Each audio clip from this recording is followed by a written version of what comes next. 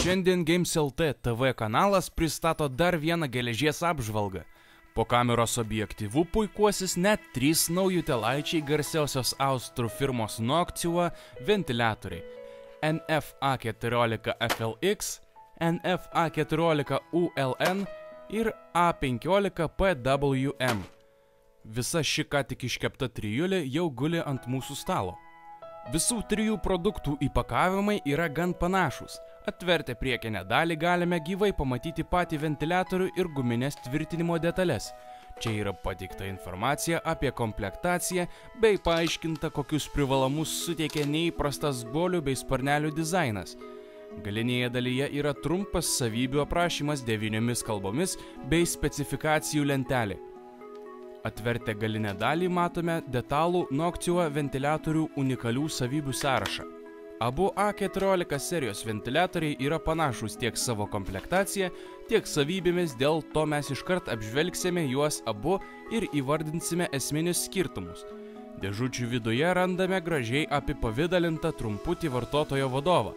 Ventiliatorius galima tvirtinti dviem būdais - arba įprastais varštais, arba guminiais laikikliais.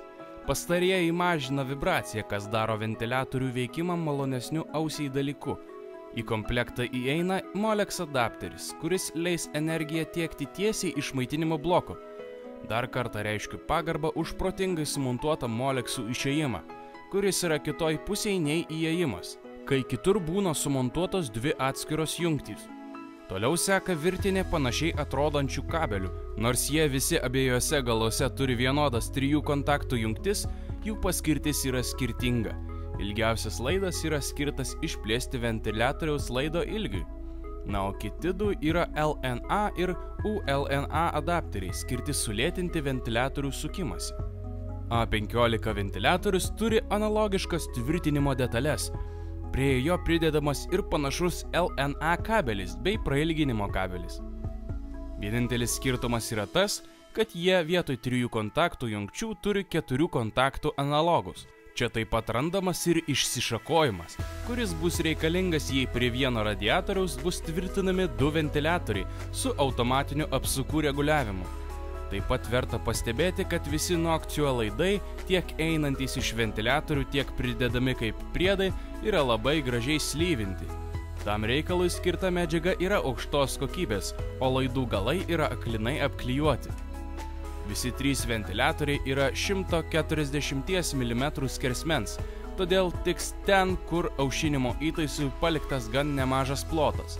NFA 15 PWM tiks prie centrinių procesorių ir vaizdo plokščių radiatorių, kadangi turi PWM apsukų reguliavimą, kuris šiuo atveju yra būtinas. Na, o likę ventiliatoriai gali būti naudojami tiek prie radiatorių, kuriems nereikia apsukų reguliavimo, tiek kaip korpuso aušintuvai. Aušintuvai turi gerą oro pralaidumą ir aukštą statinį slėgį, todėl gali būti montuojami įvairiose vietose. Ventiliatorių gamyboje naudojami naujos kartos SSO2 guoliai, Lyginant su senesnės kartos Noctua guoliais, pastarieji turi technologinių atnaujinimų, optimizuojančių jų veikimą. Ventiliatorių viduriai gali be problemų išgyventi net 150 tūkstančių valandų. Pagrindinis austrų kompanijos produktų privalumas - geras triukšmingumo ir aušinimo našumo santykis. Renkantis aukšto kalibro ventiliatorių tai tampa lemiamu faktoriumi. Be abejonės, renkantis ventiliatorių svarbus yra jų keliamas triukšmas tad mikrofoną perdodame jiems. Pradėsime nuo paties stiliausio A14 ULN. Kaip matote, skleidžiamo garso beveik nėra. Na, o dabar pasiklausykime FLX modelio.